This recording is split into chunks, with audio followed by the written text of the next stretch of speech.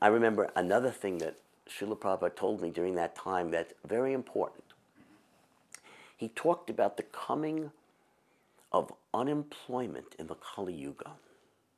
Now, we're seeing this now. This is this is um, 2009, almost 2010. is a bad economic time, but Prabhupada was talking that as the Kali Yuga progresses, more and more there will be unemployment.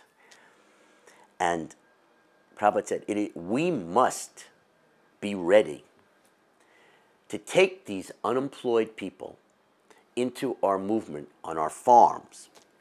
That's what Prabhupada said, that we need farm communities that can grow food because, and he predicted this, that one day millions of people will be coming to our Hare Krishna farms because they're unemployed.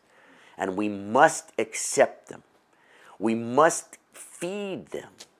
We must let them live there, and they will gradually become spiritualized.